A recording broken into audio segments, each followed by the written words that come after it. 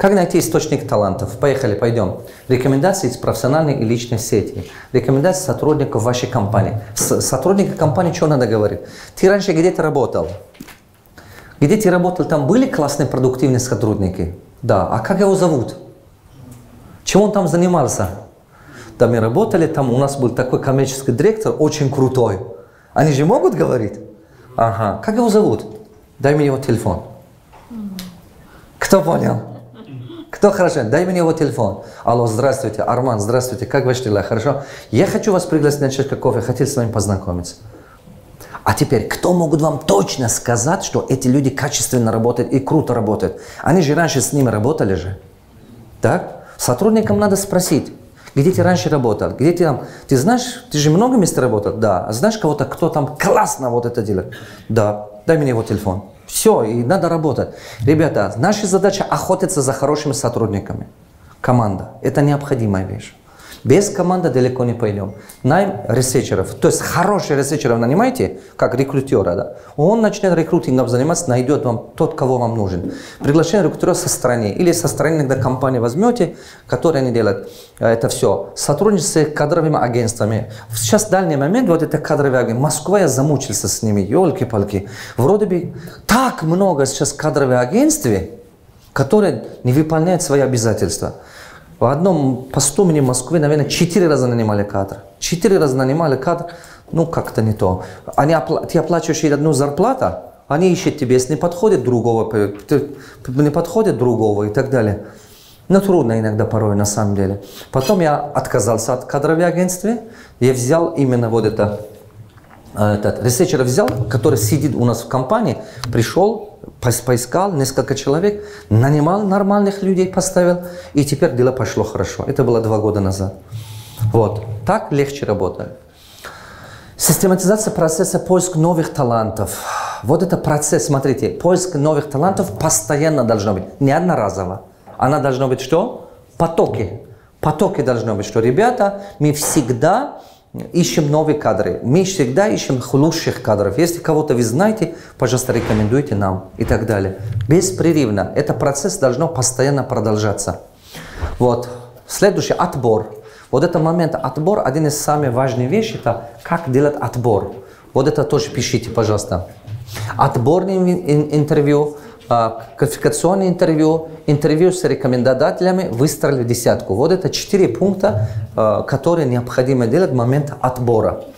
В момент отбора нужно делать четыре интервью. Вот. Каждый из них имеет значение. Вот. Вы пишите, дальше продолжим.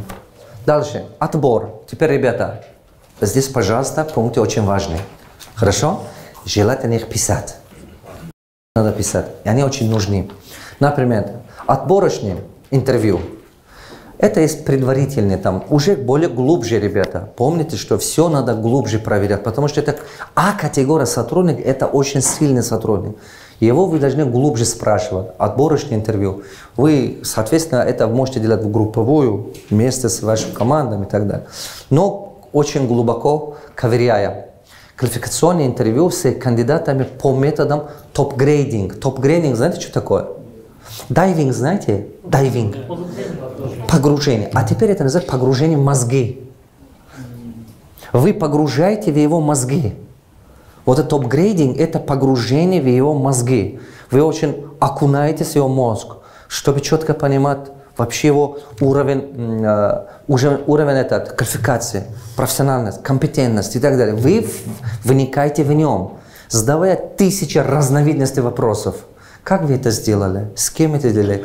Ну, расскажите, с чем вы столкнулись? Почему именно выбрали такой, такой модель? Почему вы выбрали такой подход? А потом, что это дало? А сколько это принесло прибыль? А, вот, а кто это подтвердит? Да и пошло и поехало. Если человек сам сделал, он точно расскажет, конкретно расскажет. Согласны?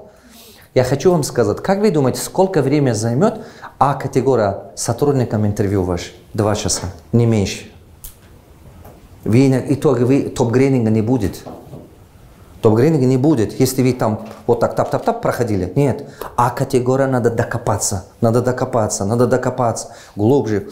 Двоих, э, э, этот, несколько своих индивидуальщиков я нанимал исполнительного директора, нанимал финансового директора, нанимал их ключевые сотрудники. Несколько из них.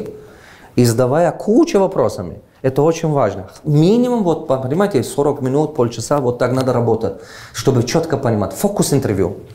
Фокус интервью на его результатах ориентируйтесь и так далее. На его результатах и так далее. Интервью с рекомендателем. Смотрите, четыре категории. Вот это четыре вещи. Сейчас давайте посмотрим каждый из них. Пойдет?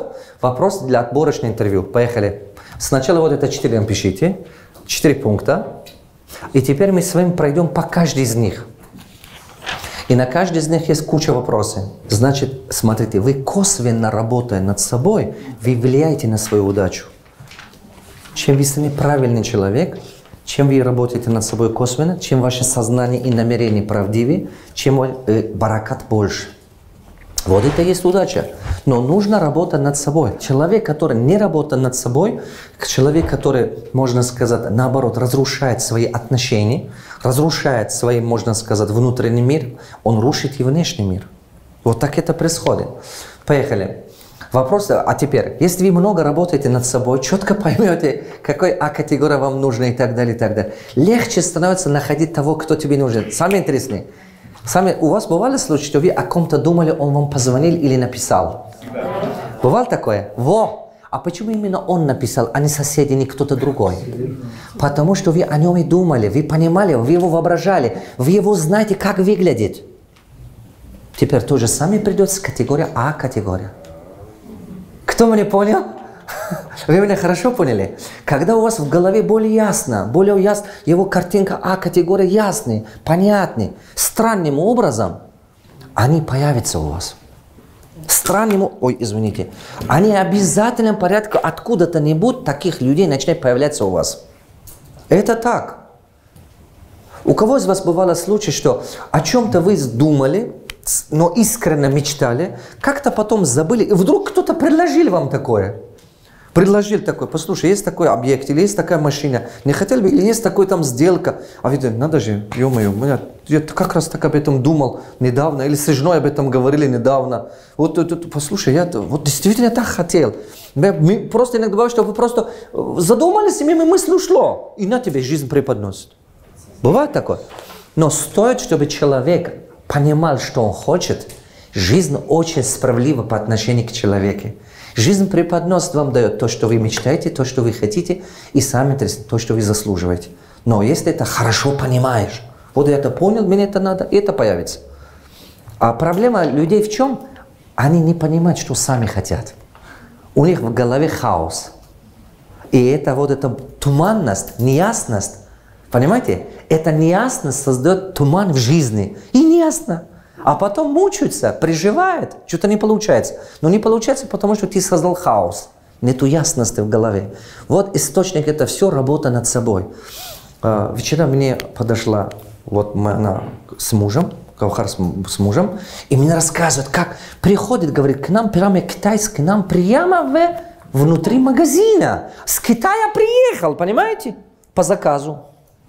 И им говорит, я хочу, чтобы ваша компания была полностью моим поставщиком. В протяжении 4 года построю завод, все хочу у вас, чтобы вы мне поставляли. Начиная от перчатки до цемента, до бетона, до арматуры. Я не хочу нигде искать. Она мне говорит, наставник, браться за них? Я говорю, конечно. Конечно, браться. Ты что? Три-четыре года он построит. Конечно. А теперь вопрос. А почему Кызларде строит, поехал Чемкент их искать? Он что, их дядя? Нет. Нет, никакой не хозяин. Он просто их даже не знает. Потому что человек, когда работает над собой, он меняется. Кто мне начал понимать? Правую руку подними, повторим за мной. Работай над собой, обучаясь, ты обновляешься. Чем больше ты обновляешься, ты приближаешься к Богу. Чем приближаешься к Богу, тем становишься могущественнее.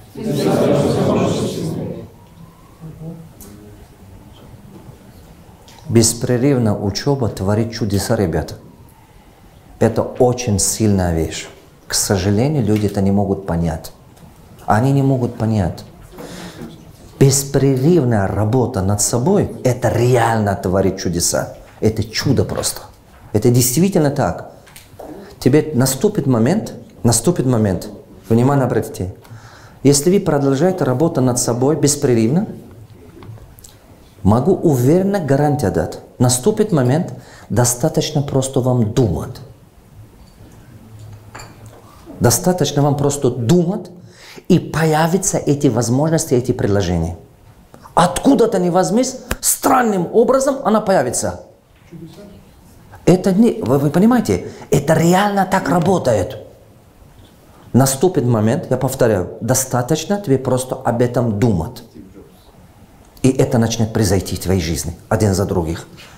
Ты будешь сидеть, думать, странно, но это работает. А поэтому это должно стать тебе часть, она должна, э, как сказать, выполнять весь твой мир. Ты должен этим жить. Это не должно быть временами. Это должно стать твой мир, образ жизни. Это круто работает потом. Это день наступит. Продолжайте, продолжайте. Чем станешь больше успешнее, тем больше надо учиться. Тем больше учишься, тем больше открываешь тот талант, который Богом дано. Это крутой вещь.